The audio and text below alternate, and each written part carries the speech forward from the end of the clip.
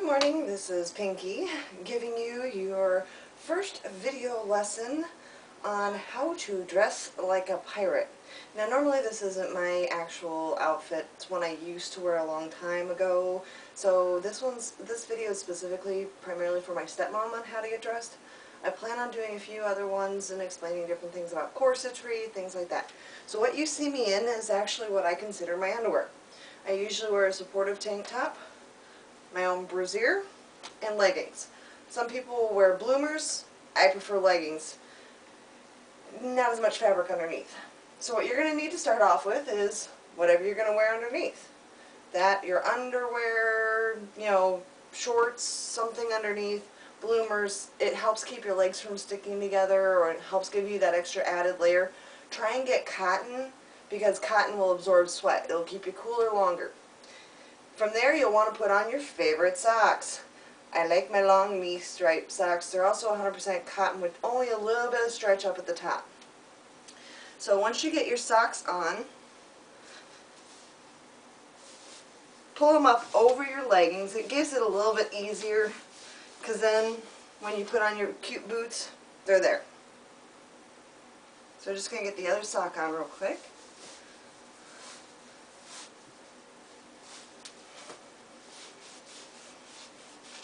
You can pick up your these types of socks usually at different Renaissance fairs around the country.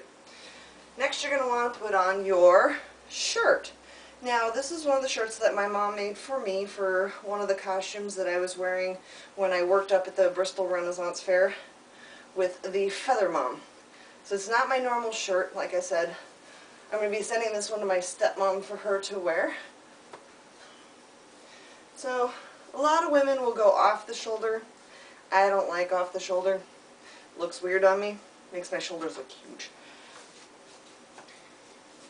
Next you're going to want to wear your skirt. Now most skirts are measured for actual waist length, not hip length. We're so used to wearing everything at hip length. You'll want to make sure you find your natural waist, which is right where your belly button is, and goes around. That's where you're going to want to line a lot of your things up. So put the skirt on over at your natural waist. Now this is the tricky part, making sure that nothing is bunched up in the wrong ways. So you can just take and maneuver your shirts around until everything is kind of pulled nice and tight because once you get your bodice on you'll stretch. Now your next part and the final part to your actual costuming itself, you can wear multiple skirts, different layers, things like that. But what you really want to top it off with is a bodice. Now this is a front bodice, front closing bodice. It's fully, you know, complete all the way around.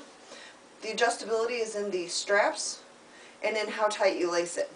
And it's laced just like a shoe. Once you get it on, kind of like putting on just a regular vest. Pull your sleeves through. Make sure that nothing's bunched up.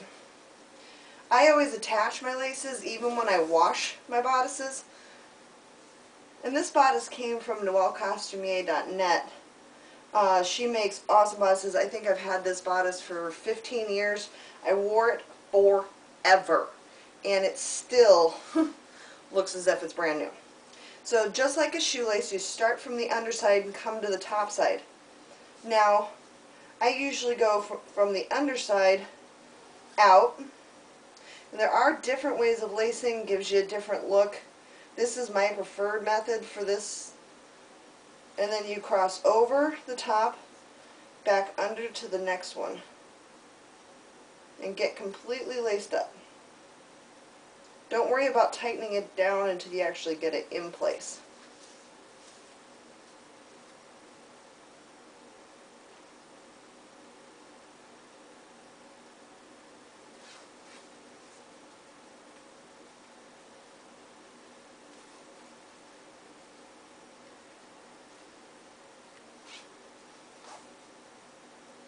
And as you may notice, it sits a little high. That's because I have the straps tightened down. You can adjust the straps once you get it in. It's real easy, it's just a bow tie. Now that you have your bodice in place, move your skirting and your shirt, whatever you have that's underneath, up to the point where you're going to want it. Bring it in, tighten it down just like you would a shoe. Grab a hold of the two strings and just work it all the way up.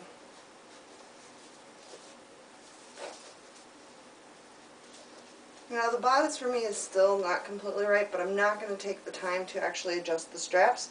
Simple, easy, bow. Done. Now your next main parts that you're going to want to get are a belt, and my favorite, skirt hikes. Skirt hikes are a newer invention. They came out because too many women were tripping and falling on their skirts because they were trying to wear them at waist, their hip waist, not their true waist. Now, my skirts are always a little short because I've got really long legs. But you're going to want to get a belt. Your belt, your skirt hikes. A belt typically is just a single ring and it's about six feet long. This is the easy part. Whichever way you're most comfortable with, I usually put the ring in my left hand. Grab the belt. Bring it around to the front and hold. Because you're going to put your skirt hikes. And with me, I usually put all my gear on my belt. My belt will weigh up to 35 pounds depending upon how much of my gear I'm going to use. Now these lovely skirt hikes have two rings and a loop, but they're also snapped. Depends upon where you go, who you get your skirt hikes from. But what you're going to want to do is take and put the snap on the outside, and you're going to feed it onto your belt. Put one on one side, and one on the other. Now, your belt is also going to want to go around your natural waist not your hip waist. If you do hip waist, everything's going to pucker up, bunch up, and it's going to look ridiculous. You'll want to go more for your natural waist. Now, the way to tie a belt, you don't have hooks, you don't have holes, things like that, because they didn't really have that functionality back in the Renaissance and piracy or any of those ages. They didn't really use them. It was a lot simpler just to use a leather strap. So what you're going to do is, rings in the left hand, tail in the right. You're going to pull it so that way your belt is not that, you know, the loops are not that far crossing over. You're going to take the tail of the belt. You're going to take and put it through the loop. This is the hard part. You're going to cinch it almost all the way down. Holding the loop on the right hand, you're going to take the tail. You're going to go underneath the left side of the rings and you're going to bring the tail up from the underside. Now you're going to take this tail, see this loop right here? Put it back down through the loop. So you're coming up from underneath and going back down. Kind of like the rabbit goes around the tree and back down the hole. And all you're going to do is just work that loop, pulling the tail until it's nice and tight.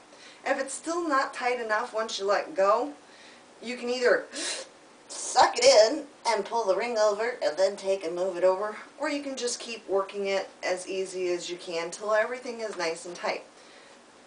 There's your belt. But where's your skirt hikes? They're right here. To get the draping on the skirt, it's actually really simple. A lot of people will sit there and go, okay, um, how about this? That works. What I usually do is take pull the skirt out until it's tight, about my arm's distance as if I was going to be doing a curtsy.